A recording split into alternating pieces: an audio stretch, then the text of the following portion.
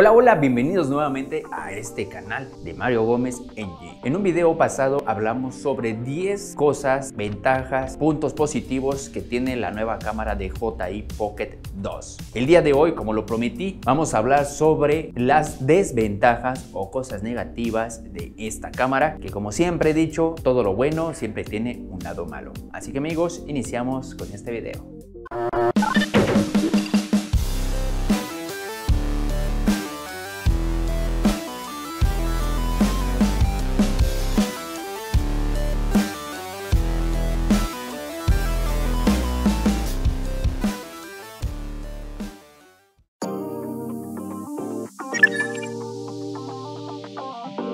Sin duda alguna, el precio es bastante alto para quien quiera adquirir el combo. Me estoy refiriendo al que quiera adquirir todos los accesorios como el micrófono, como el pequeño triplié, los lentes, el conector inalámbrico para que funcione el micrófono. Estamos hablando de un precio aproximado de 11.800 a 11.900 pesos mexicanos, que en dólares americanos es esto. Si lo buscamos por la página de Mercado Libre, por la página de Amazon o en alguna tienda departamental como por ejemplo Liverpool.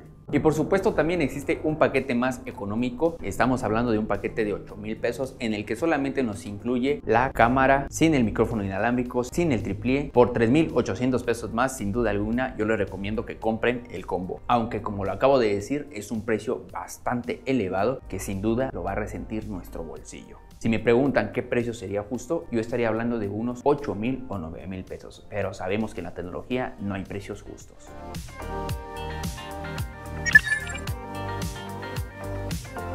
Sin duda alguna, esto es algo que le hace falta a este combo. Me refiero a que esta cámara no trae un sistema configurado para poder conectar un cable a la cámara y directamente a la computadora para poder transferir nuestros archivos. No, tenemos que hacer forzosamente el retiro de la tarjeta micro SD de la cámara y después buscar un adaptador para poderlo conectar a nuestra computadora. Aclaro, el combo de esta cámara sí trae cable, pero solamente es cable de carga. Si nosotros lo conectamos con nuestra cámara y a nuestra computadora, no podemos hacer la transferencia de archivos. Eso es un punto negativo de esta cámara.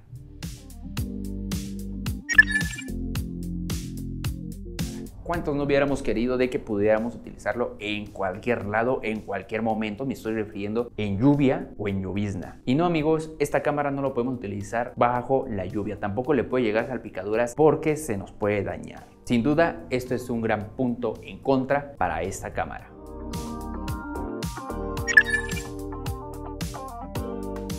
Cuando hablamos de cabeza de carga me estoy refiriendo a esto. Así es, esta cámara no trae la cabeza de carga en donde nosotros podemos conectar nuestro cable de alimentación para poder cargar la cámara como el micrófono. ¿Qué tenemos que hacer? Pues conectar directamente a un servidor o a una computadora nuestro cable o comprar por nuestra parte esta cabeza para ahí poder conectar el cable y poder pasar la corriente.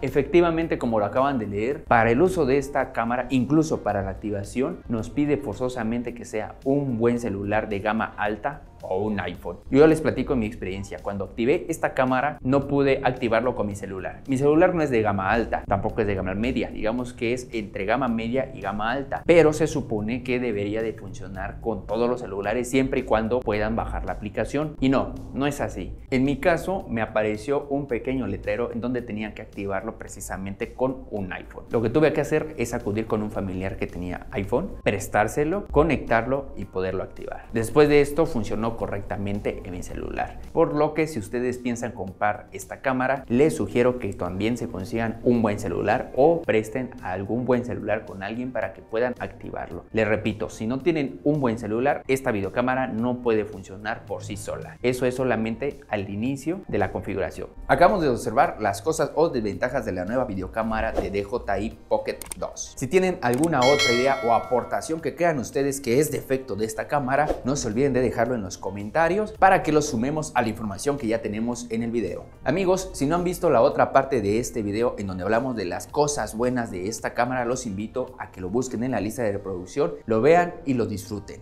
Para finalizar, quiero comentarles que estas cosas o desventajas que les acabo de presentar el día de hoy no hacen o no la clasifican como una mala cámara. Son detallitos nada más que podemos mejorar en la siguiente versión que nos presente DJI y por supuesto, como lo he dicho y lo sigo diciendo, que todo lo bueno siempre tiene algo malo. Me despido de ustedes, no se olviden de compartir, dejar su comentario, darle like y por supuesto activar la campanita para disfrutar de los próximos videos. Hasta luego.